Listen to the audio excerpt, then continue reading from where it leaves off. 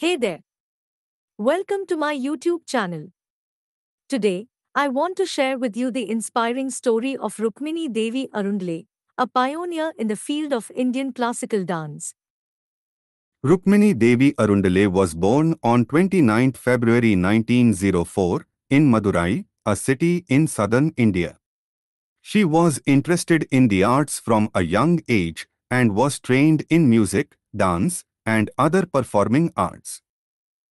In 1920, Rukmini Devi Arundale married George Arundale, a prominent theosophist. Through him, she was introduced to the famous Indian philosopher and spiritual leader, Jiddu Krishnamurti.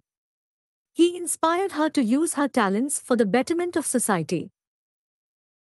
In 1935, Rukmini Devi Arundale founded the Kalakshetra Foundation in Chennai, India, with the aim of preserving and promoting traditional Indian arts and crafts.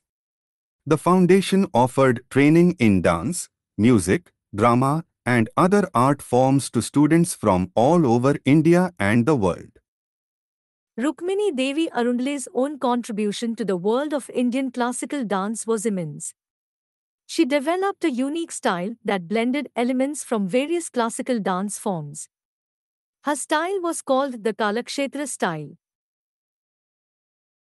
She also choreographed several dance dramas that brought Indian mythology and history to life on stage.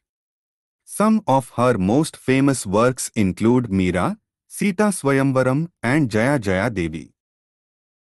In recognition of her contributions to Indian art and culture, Rukmini Devi Arundale was awarded several honors, including the Padma Bhushan and the Padma Vibhushan, two of India's highest civilian honors. She was also nominated to the Rajya Sabha, the upper house of the Indian Parliament. Rukmini Devi Arundale passed away on 24 February 1986, but her legacy lives on through the Kalakshetra Foundation and the countless students she inspired and trained. I hope you found this short video inspiring and informative. Don't forget to like, comment, and subscribe for more such content. Thank you for watching.